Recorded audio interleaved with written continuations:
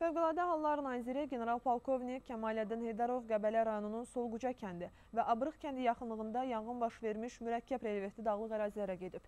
Nazir helikopterdə yanan hissələrə baxış keçirib, yanğının qarşısının alınması üçün aparılan işlərlə tanış olub. Yanğının söndürülməsi istiqamətində görülən tədbirlər barədə nazirə məlumatlar verilib.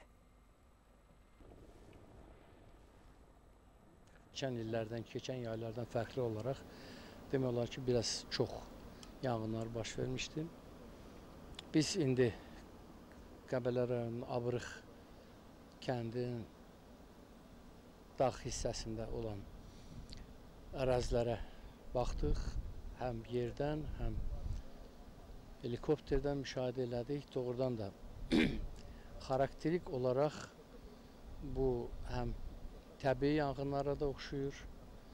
Yandırma faktları da e, yox deyil, vardır. 100 illərlə bizim ulu babalarımızın qoruyub saxladığı, təbiətin bizə verdiyi bir nemətdir. Ona görə də bunları əksinə qorumaq lazımdır.